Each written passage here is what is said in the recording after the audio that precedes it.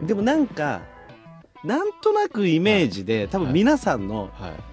良くないこう原作読んでてさ皆さんこう読んでる人の頭に声が浮かんでる人、それぞれじゃない皆さん。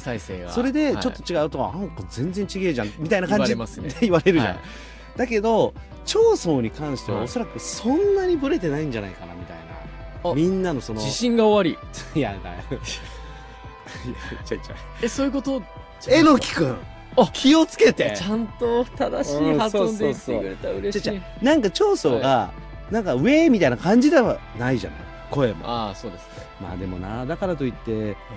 その別にこういうキャラクターはこういう声だっていうのルールはないわけだから、まあないですけどなんか大体のこう法則みたいなのはうん。なんとなくこう今までのアニメ史の蓄積みたいなのありますよね。そうそう。だからなんかボソボソしてるし、もごもごしてるし、はいはい。なんかパキパキは喋んなそうだなみたいな、はいでなんか甲高くもまああってもおかしくはないとは思うんだけど、まあ、高いイメージは確かに漫画読んでるとあんまないないよね。なんかどっしりしてなんはいかちょっとボケキャラっぽいところもあるじゃない、ああ なんかだんだんとねちょっとなんか、うん。あそういう一面もあるんだみたいなのが見えてきてますよね。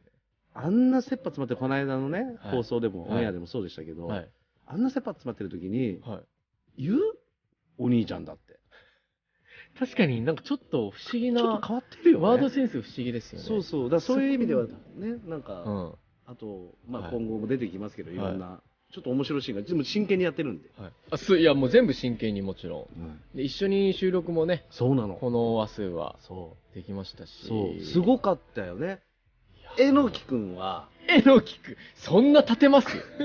えのきくんは、はい本当に全身を使って演じてるんだなっていうのが分かった。動いてましたから。めっちゃ動いてる。ああんまでも自分ではすごい、もうね、やっぱでもちゃんと相手役を観察してるってことめっちゃ見るじゃん、こっち。あ喋る時とか。な波川さんを。そやっぱな長宗にお顔もちょっと似てるなって。